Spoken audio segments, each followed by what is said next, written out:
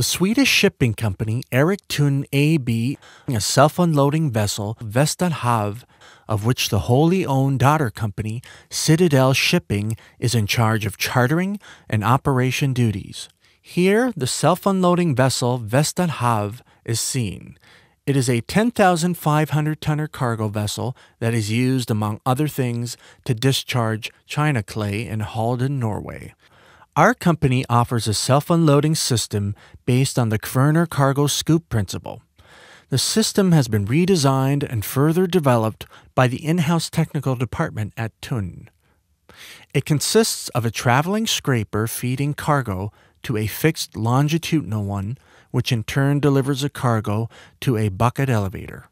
The traveling scraper unit provides the longitudinal scraper with a constant supply of cargo. As the hold empties, the scrapers automatically lower themselves on special beams. At deck level, the bucket's content is conveyed up to the boom, in which a swing away belt conveyor transfers the material to shore. The entire discharging process is supervised by a single operator from a control room or from the bridge.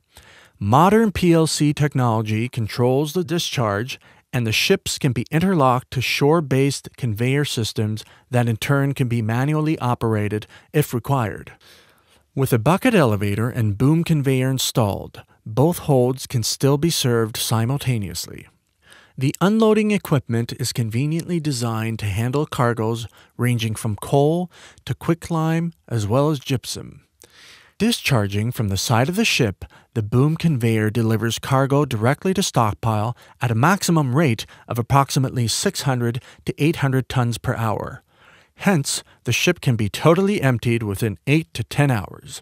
Discharging takes place with the hatches closed, thus protecting the vessels from bad weather conditions and eliminating the risk of pollution.